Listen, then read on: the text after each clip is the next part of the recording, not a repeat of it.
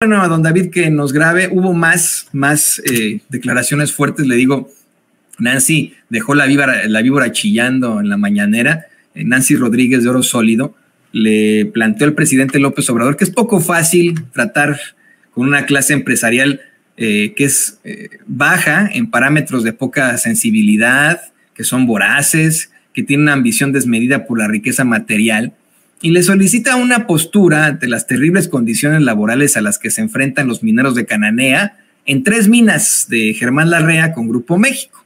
Asimismo, eh, denunció las cochinadas de multimillonarios como Ricardo Salinas Pliego, Olegario Vázquez, Grupo Balleres, Carlos Slim, eh, José Antonio El Diablo Fernández, etcétera, etcétera. El presidente planteó que siempre ha dicho que la transformación que está en marcha tiene, entre otros principios y criterios, el separar el poder económico del poder político.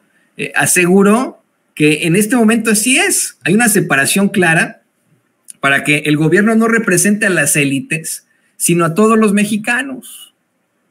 Eh, eh, y, bueno, mire, me, están comentando por ahí que tenemos imágenes en vivo de la de una, un evento que está teniendo el exsecretario de Gobernación, Adán Augusto López, y le pido al equipo